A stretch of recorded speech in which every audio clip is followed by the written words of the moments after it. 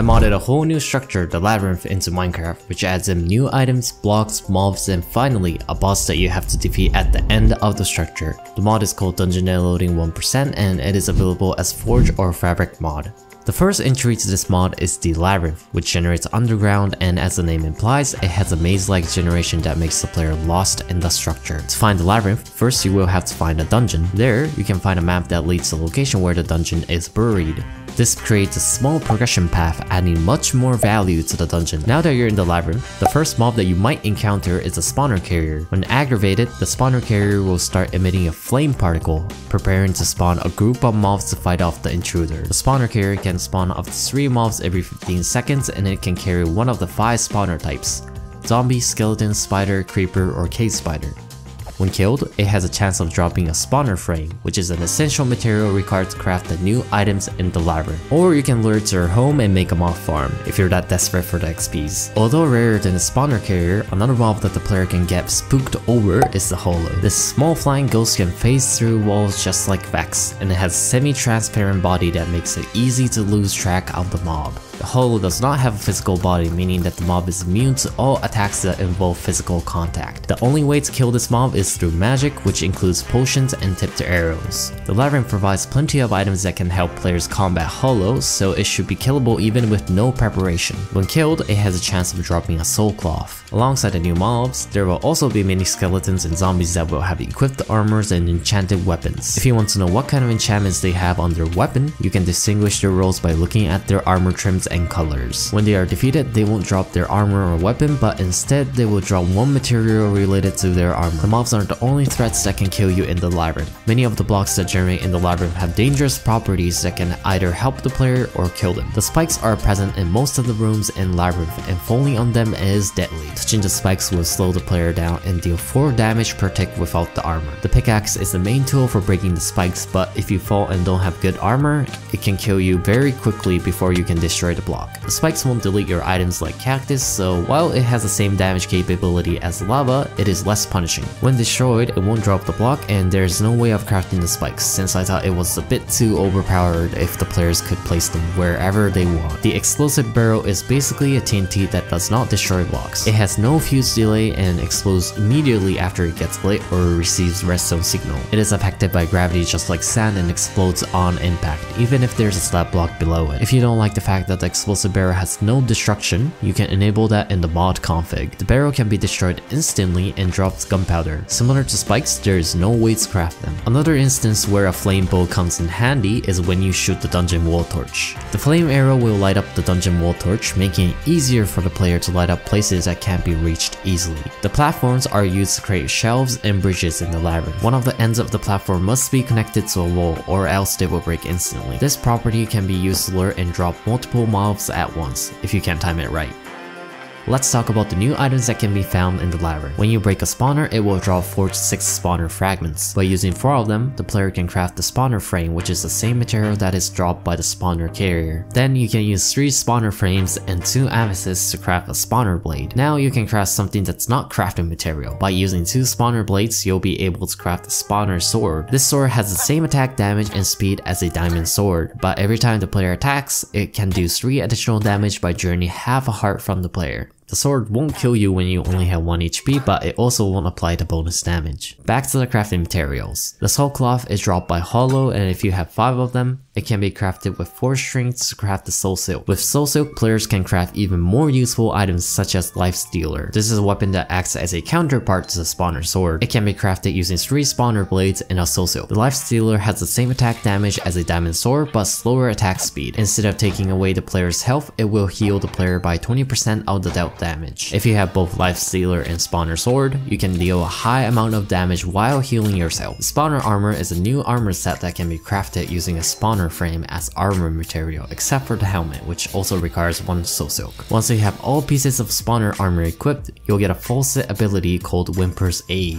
While there is at least one hostile mob within a 5 block radius, every 10 seconds, the armor will summon a new mob called Whimper. The floating doggo is a pet that assists you in battle. Its purpose is to redirect the enemy's target to themselves and stolen in the air until the player gets rid of the other enemies. They are capable of killing enemies but only when they feel like it. They will despawn after 30 seconds which means you can only have 3 Whimper spawn at once. The last item that can be crafted using the spawner material is a Skull of Chaos. This item is an important progression item which requires 5 spawner frames, 1 spawner blade and 1 chain. In order to explain more about this item, I would have to first introduce you to the boss of the labyrinth, the Chaos Spawner. The Chaos Spawner is a sealed skull that is contained in a large glowing box, waiting for a curious adventurer to break the seal. To do this, the player will have to use the Skull of Chaos in front of the boss, which will make a screeching noise awakening the Chaos Spawner. After the Chaos Spawner releases a terrifying roar, it will turn towards the player and begin its rampage. While the Chaos Spawner has a simple goal of killing you by throwing numerous stacks, you might realize that there's no way for you to attack back. The boss is protected by unbreakable barriers that prevent all melee and range attacks from passing through. The only way for you to create an opening to attack is by destroying the barrier. To do this, you will have to break all of the 8 diamond notches on the frame, which will instantly fracture the barrier, giving you an opportunity to attack the Chaos Spawner. The barrier will start regenerating after 5 seconds and after that, it will restore 1 diamond notches per second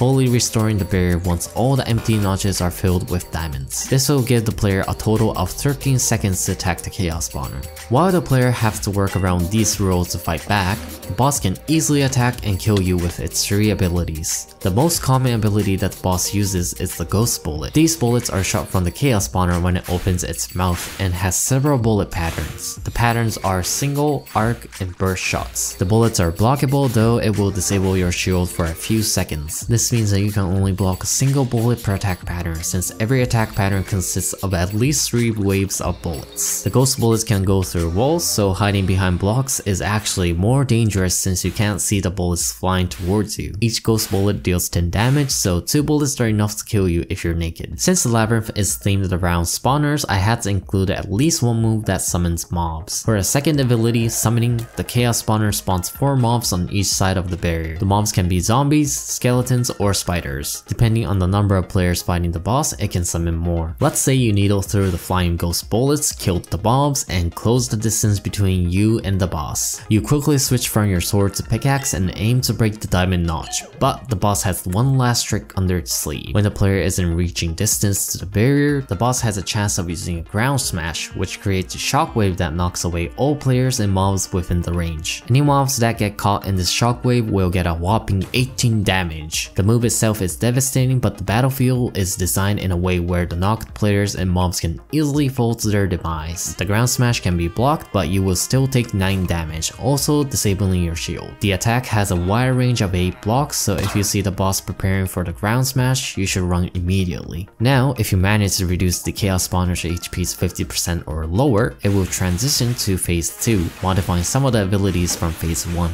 The Ghost Bullet will have upgraded attack patterns. The single shot becomes rapid, Arc becomes Strong Arc, and Burst becomes Strong Burst. All of the attack patterns have more bullets and tighter space to dodge demanding even more precise movement from the player. The summoning will also have increased variations of mobs to summon. On top of the mobs from phase 1, it can also summon half diamond armor zombies and skeletons, invisible spiders, spider jockeys, and full diamond armor baby zombie with diamond axe. Ground smash is pretty strong as it is, so I didn't change anything about it. After you overcome your extreme odds and fought through phase 1, phase 2 and dealt the finishing strike to the boss. The Chaos Spawner will make a suffering cry and drop to the ground. The Chaos Spawner drops 8 to 16 diamonds, 5 great experience bottles, 8 to 16 spawner fragments, 50% chance to drop 4 to 8 spawner frames, 25% chance to drop 2 to 4 spawner plates, and lastly, 1 chaotic hexahedron. Out of all the drops, the great experience bottle and chaotic hexahedron are the new items that we haven't talked about yet. If you haven't noticed, the boss does not drop experience. The reason for this is because it drops the great experience bottle which contains 100 XP per bottle. A single great experience bottle will instantly get you to level 7 and using 5 bottles will get you to level 19. The more exciting drop from the chaos spawner is the chaotic hexahedron. This item can be used to craft the last new weapon in the labyrinth by using 2 spawner blades, 2 sticks, and one chaotic hexahedron,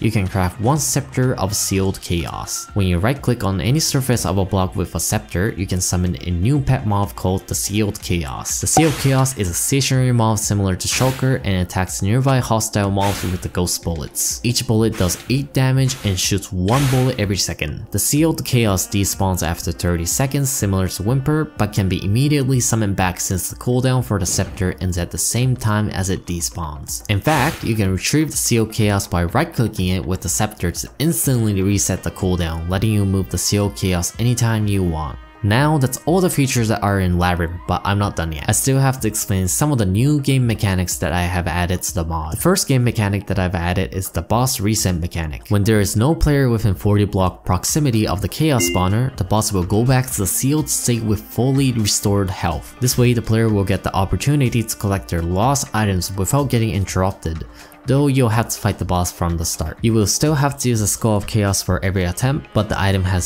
ability, giving you 10 attempts before you have to craft another Skull of Chaos. Another mechanic that differs from the vanilla boss is the multiplayer scaling. To make the fight fair for the boss and make the multiplayer challenging, the boss will gain 50% more health per player that was present in the 40 block radius when the fight started. Mojang started adding multiplayer support with trial spawners, so I think it is natural for the boss to adapt to multiplayer as well. Both the boss reset mechanic mechanic and multiplayer scaling can be controlled in the config so if you don't like it, there's an option to turn it off. Now some might say that this system can be exploited by having one player starting the boss fight in the active range of the scaling and all other players entering the range after the boss fight has been started. To solve this problem without changing the boss health mid-fight, I've decided to add a mechanic that rewards the player for interacting with the multiplayer scaling. When the boss is defeated, the boss will drop loot for every player that was present in the range of the scaling when the boss fight started. Each set of drop loot will be visible and can only be picked up by the player that the loot belongs to. This mechanic can also be turned off in the config if you like grinding. There's a lot more things you can change about this mod through config and data pack and if you need help you can ask questions in my discord server. The concept of this mod is to add new structure and boss every major update which will increase the percentage on the name of the mod by 1%. My goal is to reach 100% which is 100 dungeons and bosses which sounds crazy so please help my journey by hitting the like button on the video and consider subscribing since that will make YouTube recommend this video to more people. Lastly, thank you guys for watching and hope you enjoy exploring the labyrinth.